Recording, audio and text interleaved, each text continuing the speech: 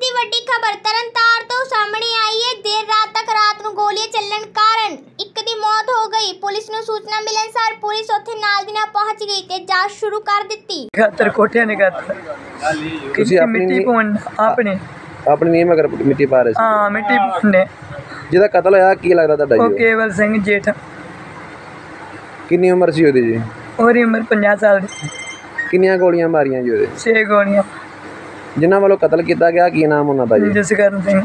ਕਿਹੜੇ ਪਿੰਡ ਦਾ ਵਾਸੀ ਹੈ ਜੀ? ਕਾਲੀਏ ਹੁਣ ਪੁਲਿਸ ਆਈ ਹੈ ਪ੍ਰਸ਼ਾਸਨ ਤੋਂ ਕੀ ਚਾਹੁੰਦੇ ਤੁਸੀਂ? ਕੀ ਮੰਗ ਕਰਦੇ ਜੀ? ਚੁੰਨੀ ਯਾਰ ਇਨਸਾਫ ਹੈ ਗਰੀਬ ਲੋਕ ਹੈਗੇ ਇਨਸਾਫ ਚਾਹੀਦਾ।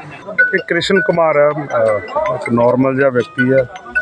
ਇਹਦਾ ਮਕਾਨ ਜਿਹੜਾ ਵਾ ਉਹ ਜਸਕਰਨ ਸਿੰਘ ਹੈਗਾ ਇੱਥੋਂ ਦਾ ਕਾਲੀਏ ਦਾ ਉਹ ਪਿਛਲੇ ਪਾਸੇ ਉਹਦਾ ਮਕਾਨ ਸੀ ਉਹਨੇ। ਇਹਨਾਂ ਦੇ ਮਕਾਨ ਦੇ ਪਿਛਲੇ ਪਾਸੇ ਇੱਕ ਜਿੱਦਾਂ ਆਪਣੇ ਪਾਰਕ ਬਣਾਇਆ ਹੋਇਆ ਹੈ। ਤੇ ਉਹਨੂੰ ਗਰੀਬ ਆਦਮੀ ਸੀ, ਮੀਂਹ ਬਰਸਾਤ ਦਾ ਮੌਸਮ ਆ ਤੇ ਉਹਨੇ ਕਈ ਨਾਲ ਥੋੜੀ ਥੋੜੀ ਮਿੱਟੀ ਲਾ ਲਈ। ਇਸੇ ਰੰਜਸ ਦੇ ਵਿੱਚ ਉਹਨੇ ਆ ਕੇ ਆਪਣੇ ਜਿਹੜਾ ਲਾਇਸੈਂਸੀ ਪਿਸਟਲ ਆ, ਉਹਦੇ ਨਾਲ 6 ਗੋਲੀਆਂ ਇਹਦੇ ਤੇ ਫਾਇਰ ਕੀਤੀਆਂ। ਇੱਕ ਗੋਲੀ ਉਹਦੀ ਜਿਹੜੀ ਆ, ਹਾਰਟ ਵਾਲੇ ਪਾਸੇ ਲੱਗੀ ਆ ਤੇ ਉਹਦੀ ਮੌਤ ਹੋ ਗਈ ਆ। ਤੇ ਇਹਨਾਂ ਦੇ ਮਦਈਆਂ ਦੀ ਜਿਹੜੇ ਅਸੀਂ ਸਟੇਟਮੈਂਟ ਰਿਕਾਰਡ ਕਰ ਲਈ ਆ ਤੇ ਐਫ ਆਈ ਆਰ ਦਰਜ ਕਰ ਰਹੇ ਆ। ਤੇ ਇਹਦਾ ਜਿਹੜਾ ਪੋਸਟਮਾਰਟਮ ਕਰਾਇਆ ਜਾਊਗਾ ਕਾਜ਼ ਆਫ ਡੈਥ ਪਤਾ ਕੀਤਾ ਜਾਊਗਾ। ਤੇ ਕਤਲ ਦਾ ਜਿਹੜਾ ਮੁਕੱਦਮਾ ਉਹ ਦਰਜ ਕੀਤਾ ਜਾ ਰਿਹਾ ਸਰ ਕਿੰਨੇ ਵਿਅਕਤੀਆਂ ਦੇ ਕੀਤਾ ਜਾ ਰਿਹਾ ਮਤਲਬ ਇਹ ਇੱਕ ਇਹਨਾਂ ਨੇ ਅ, ਨੂੰ ਲਿਖਾਇਆ ਵਾ ਇਹਦਾ ਜਿਹੜਾ ਜਸਕਰਨ ਸਿੰਘ ਆ ਜਿਹਨੇ ਗੋਲੀ ਚਲਾਈ ਆ ਤੇ ਦੂਜੀ ਇਹਨਾਂ ਦੀ ਮਾਂ ਤੇ ਜਿਹੜੀ ਅ, ਘਰ ਵਾਲੀ ਆ ਜਿਨ੍ਹਾਂ ਨੇ ਇਹਨੂੰ ਧਮਕੀਆਂ ਦਿੱਤੀਆਂ ਨੇ तहलका न्यूज जेकर सच लिखना सच बोलना बगावत है ता समझो तहलका न्यूज बागी है ਸਰਕਾਰ ਤੱਕ ਪਹੁੰਚਾਉਣ ਲਈ ਤਹਿਲਕਾ ਨਿਊਜ਼ ਹਰ ਟਾਈਮ, ਹਰ ਵਕਤ ਤੁਹਾਡੇ ਨਾਲ ਹੈ।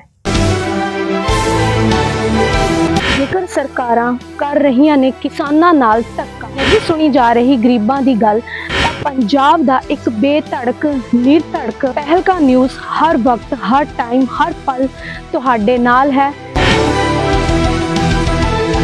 ਜੇਕਰ ਕਿਸੇ ਨਾਲ ਹੋ ਰਹੀ ਹੈ ਬੇਇਨਸਾਫੀ ਪ੍ਰਸ਼ਾਸਨ ਨਹੀਂ ਦੇ ਰਿਹਾ ਜਨਤਾ ਨੂੰ ਸਹੀ ਹੱਕ ਤੁਹਾਡੀ ਆਵਾਜ਼ ਚੱਕਣ ਲਈ ਤੇ ਤੁਹਾਡੀ ਮਦਦ ਕਰਨ ਲਈ ਤਹਿਲਕਾ ਨਿਊਜ਼ ਹਰ ਟਾਈਮ ਹਰ ਵਕਤ ਤੁਹਾਡੇ ਨਾਲ ਜੇਕਰ ਜਨਤਾ ਨਾਲ ਹੋ ਰਿਹਾ ਹੈ ਧੱਕਾ ਰਾਜਨੀਤਿਕ ਨੇਤਾ ਜਾਂ ਸ਼ਰਾਰਤੀ ਅਨਸਰ ਜਨਤਾ ਨੂੰ ਕਰ ਰਹੇ ਨੇ ਪਰੇਸ਼ਾਨ ਤੁਹਾਡੀ ਆਵਾਜ਼ ਨੂੰ ਬੁਲੰਦ ਕਰਨ ਵਾਸਤੇ ਤਹਿਲਕਾ ਨਿਊਜ਼ ਹਰ ਵਕਤ ਹਰ ਟਾਈਮ ਤੁਹਾਡੇ ਨਾਲ ਹੈ Thank you.